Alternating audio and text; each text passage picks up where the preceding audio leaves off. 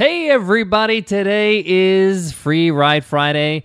Every Friday, we give away a free ride to the $100 MBA training and community. That's over 180 video lessons, workbooks, interviews with experts, ask questions anytime, a whole bunch more. And all you got to do to win a free ride is to leave an iTunes rating and review. Everybody who leaves us an iTunes rating and review enters our weekly draw. So hang on to the end of the episode to see who won this week's free ride. Let's jump into today's episode.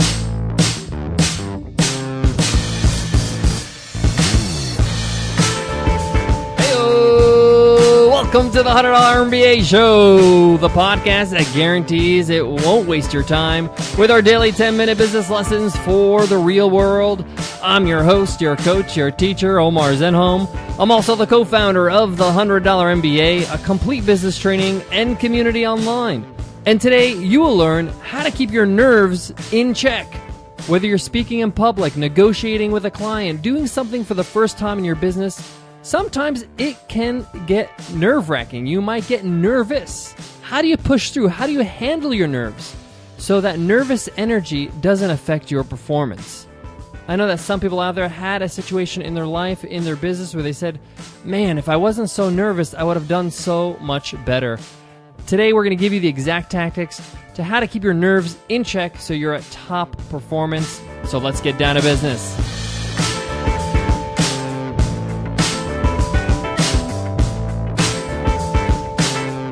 Today's episode of the $100 MBA show is sponsored by Rerun. Tired of spending hours chasing down clients for new credit card details? Automate your subscription or membership billing with Rerun. Rerun automates payments, email, and best of all, expiring and declined credit cards. Learn more or sign up for a free trial at rerunapp.com slash podcast. That's rerunapp.com slash podcast.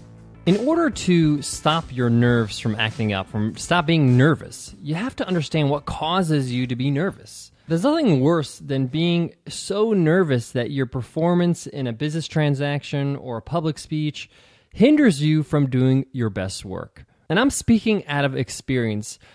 Back in the day when I was an educator, when I started my career in education, I moved up in the ranks very quickly. I became a manager very young.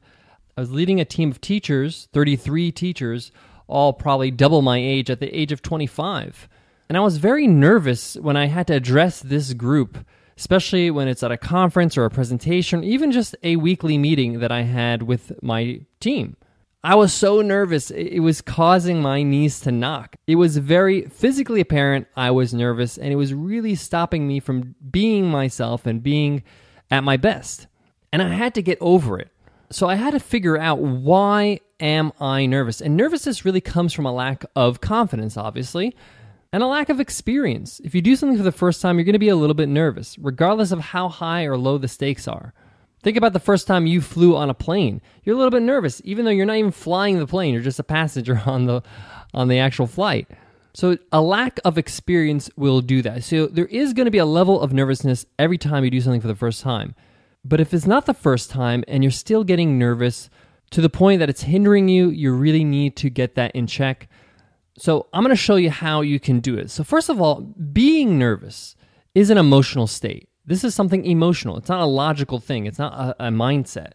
The reason why you're getting nervous about a situation, whether it's talking to somebody or dealing with a difficult situation, it's because your emotions are telling you that this is hard and the only way to kind of combat an emotion is through logic, is to convince yourself that this is not helping. And in fact, that's how I got over my nerves is that I got so angry at myself for being nervous and the fact that the nervousness was hindering me from doing well at my job or at my career. I got to the point where I realized that the nervousness is hindering me so much that enough of it. I'm not going to be nervous anymore. It's not getting me anywhere. I'm going to stop being nervous. And it's actually a logical choice. But the thing is, you can't just tell yourself, don't be nervous. It doesn't work that way. You can't just get up on stage and say, all right, I'm not going to be nervous. Being nervous is, is a bad idea. It makes me look bad. I'm going to go up there and, and nail it. And you just nail it. No. What happens is that the nerves will creep up because you're in the habit of being nervous. It comes natural. Your emotions are just on autopilot. So, what you need to do is keep reminding yourself that when you're nervous, it's not a good thing. It doesn't help you. Take a deep breath and try to recenter yourself and ground yourself and remind yourself how it was just a few minutes ago before you got on stage when you told yourself being nervous is not a good idea and I shouldn't be nervous. So, it's an awareness it's accepting the fact that, yes, I will be nervous, but I have to keep it in check. I got to constantly keep it in check. I got to keep the reins in. This could be challenging. And it's challenging because you have to do all that while performing, while doing whatever you have to do, be it a negotiation or be on a webinar or whatever it is. But it gets better over time. Another great, great tactic to do to get over your nerves is something that they do in acting. I learned this from Michael Port and Amy Mead, who are our public speaking coaches. And they have this thing in the drama world that's called act as if. Act as if you were completely confident. Act as if you were never nervous. Act as if you have complete control over everything you say and do. And acting as if really puts you in that mindset, in that state of mind where you are confident. So you're acting as if until you are that. So, say for example, you're doing a webinar for the first time, you're really nervous, you don't want to screw it up, you want to say the right things, it's live, and you want to make sure that everybody feels like it's a great experience. At that point, you really should set out and say, I'm going to act as if this is the hundredth time I've done it, that I'm a veteran at this, that I've spoken to these people countless times before, and in fact, they're my close friends, and I connect with them instantaneously. How would I act if that was the case? I'm going to act like that. And that's a great way to get prepared before you get in front of the camera or get in front of whatever you're doing that would cause you to be nervous. Acting as if is really, really powerful. And that's how actors actually pull off these great performances. They act as if they're that person, they act as if they were a mobster or act as if they were a great scientist. And the best actors, they're not really acting. They actually just take on those traits of the person they're acting as. Guys, I got more about keeping your nerves in check, but before that, I got to give love to today's sponsor, Spark Business from Capital One. Today's episode is powered by Spark Business from Capital One, providing unique small business solutions for entrepreneurs who expect better from themselves and their bank. Whether you're looking for growth strategies, financial management tips, or leadership lessons, turn to sparkbusinessiq.com.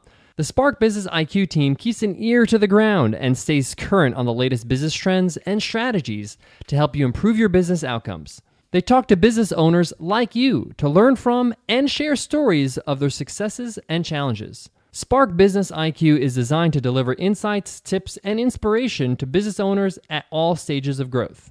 Visit sparkbusinessiq.com to learn how Spark Business by Capital One can help you ignite positive change for your business. The last thing I want to mention when it comes to keeping your nerves in check, getting better at getting over your nervousness, is that this is a process. Nothing happens overnight. Your goal is to get better each time. You need to see some progress every time you're in that situation that gets you nervous. If you do see progress, then that's amazing. You need to make sure that you keep progressing and allow to have the opportunities to get better. So if you have a situation where you do get nervous, try to seek out opportunities where you can keep doing those things. I know it sounds kind of crazy, but keep doing that thing so you have more chances to get over those nerves. And remember, when you step out of those things for a long period of time, you kind of lose the momentum. So, say for example, you did four webinars this month, and then you don't do one for four months, and then you do another one after that. That first webinar back is going to be a little bit different. It's not like you're just on a roll. You're not back to square one, but you will regress a little. So, make sure that you stay consistent. All right, guys, that wraps up today's lesson. It's time to announce this week's Free Ride Friday winner. Let's see who won this week's free ride to the $100 MBA training and community. And the winner is. Genuine Chris. Genuine Chris says something really useful, five stars.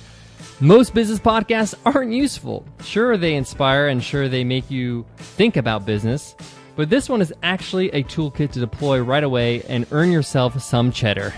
That's why it gets an easy five stars because it's what every podcast should be. Instead of two people interviewing each other, telling war stories, and try to sell their books, you get a real entrepreneur that has success and failures, being honest about all that.